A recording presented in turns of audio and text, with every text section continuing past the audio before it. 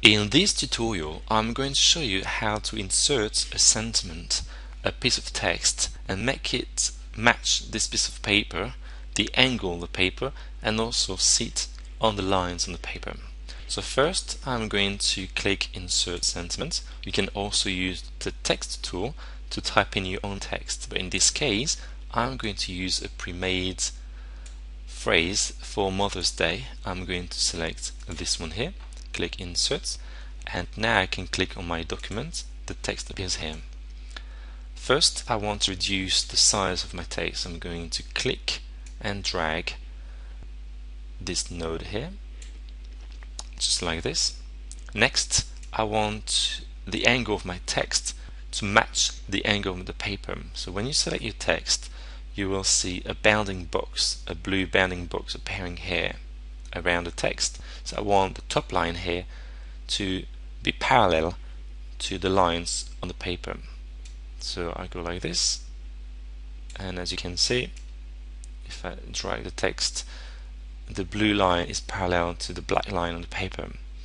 So that's fine. I'm going to reposition my text just like this so it sits well on the line.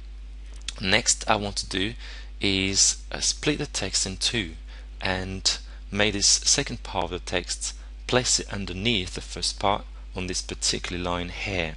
This is very easy to do.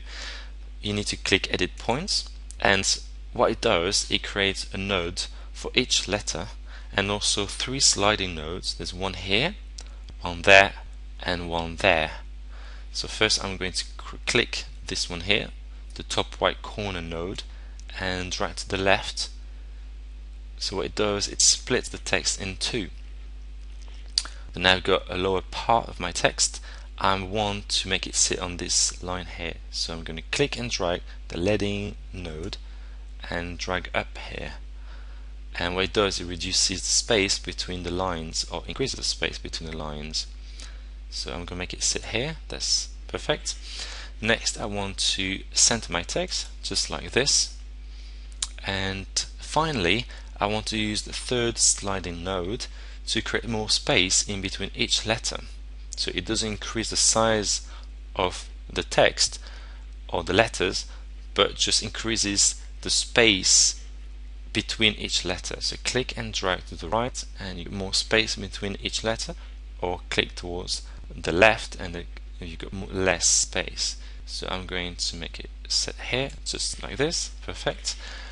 Um, Finally, I like to change the color of my text. So with the text selected and the fill selected, I'm going to click the color picker, choose a color from my document, like a red, dark red actually, from here. And with the text selected, the fill selected, I'm going to click on my text color.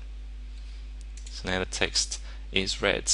One last thing I'd like to show you, if you select the text, click edit points, you will see all these nodes here and there's one node per letter. So what it does, it allows you to select each letter individually and move it if needed. Um, so in this case, if I want to reduce the space in the word mum, I can click and select each letter individually to uh, reduce the space, just like this. You can also change the angle of the letter just like that.